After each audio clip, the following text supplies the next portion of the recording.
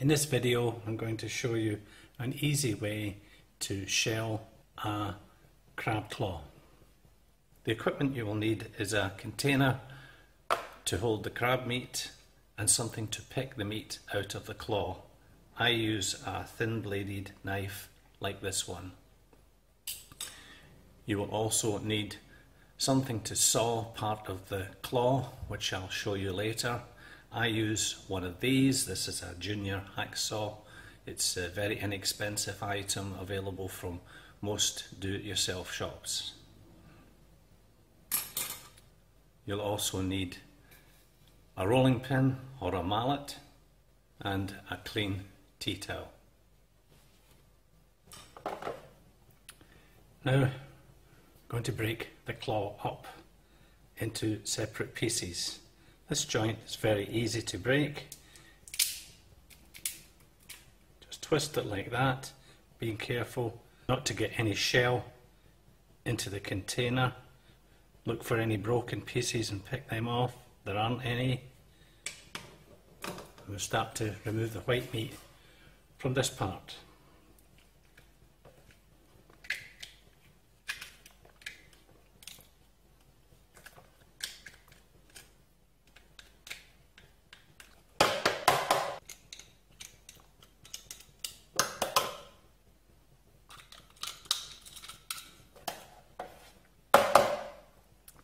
That's that piece empty.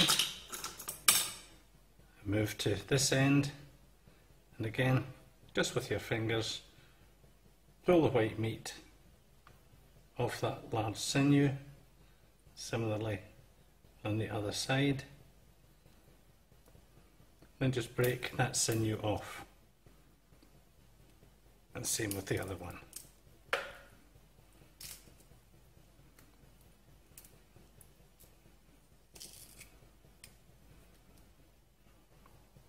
Now this joint is almost impossible to break with your bare hands, so you do have to use a tool. In this case I'm going to use a junior hacksaw and I'm going to cut off one side of the hinge.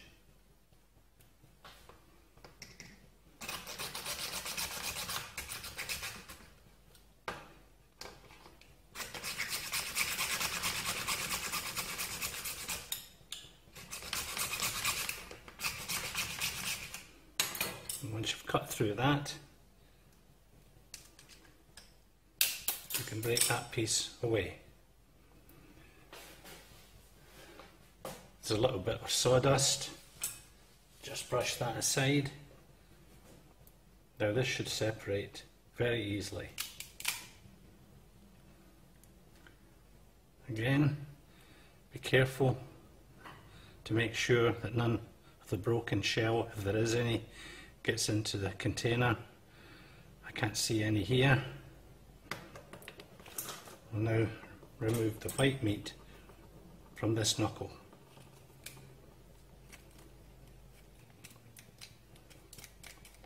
These cat, uh, claws can be obtained from any good fishmonger. The male claws is what you're after. They are much bigger than the female claws. And the bigger the claw, the less work you will have to do.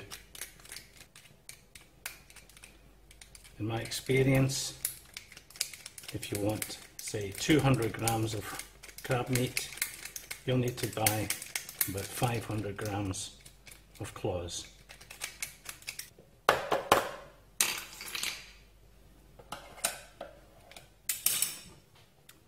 Come to the main part of the claw. Again, you'll find two large sinews here. Just use your fingers to pull off the white meat and then break off the tendon.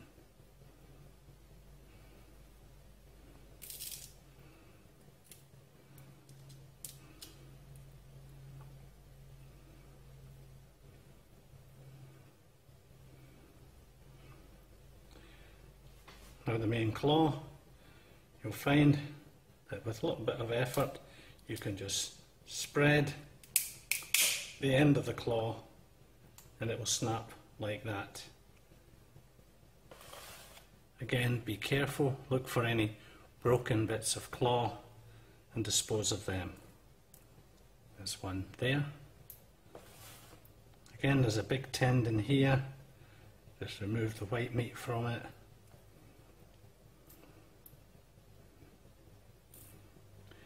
And then there'll be a part of the claw in here.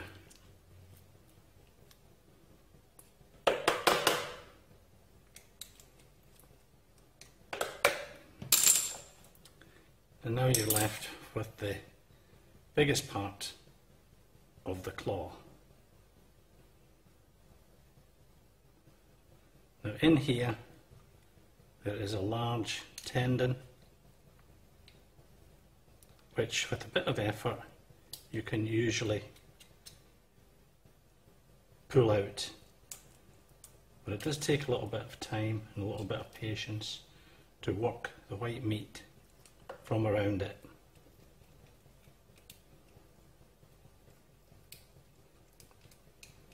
Eventually,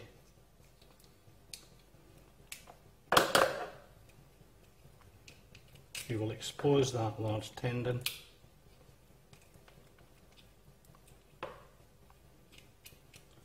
and you'll be able to pull it out. If you haven't got the patience for that, a bit of brute force is involved. First of all, get yourself a clean tea towel, lay it over the shell, and a rolling pin or a mallet. A couple of good taps with that, and the shell will crack open. Again, this requires a lot of care because you do not want to get any of that crab shell into your mix. because biting on a bit of crab shell is not very good for your teeth.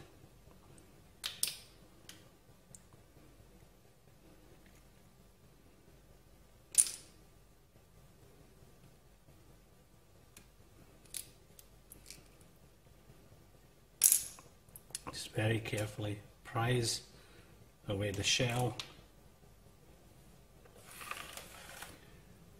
where you see the meat attached to the shell just gently scrape it off.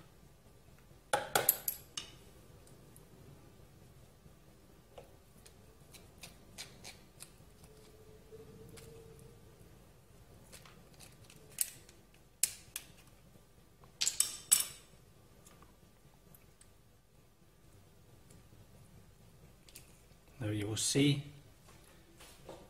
in this part of the shell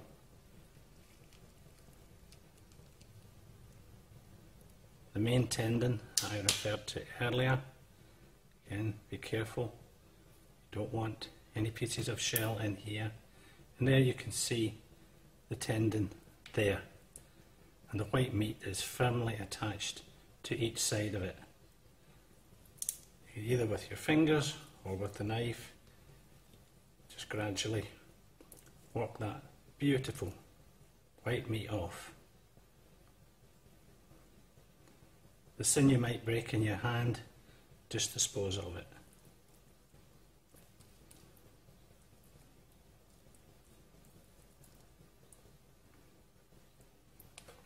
Move to the other side.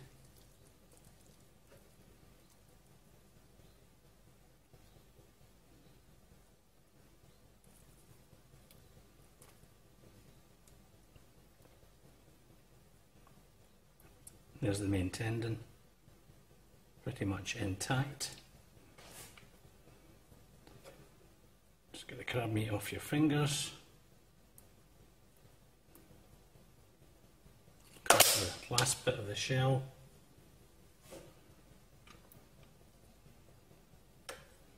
And you will find another piece of meat in this end of the claw.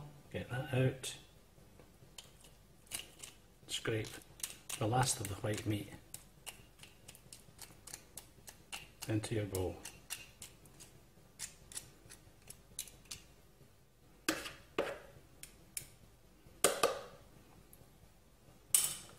There we have some shell-free crab meat, white crab meat, ready to make some crab cakes later today.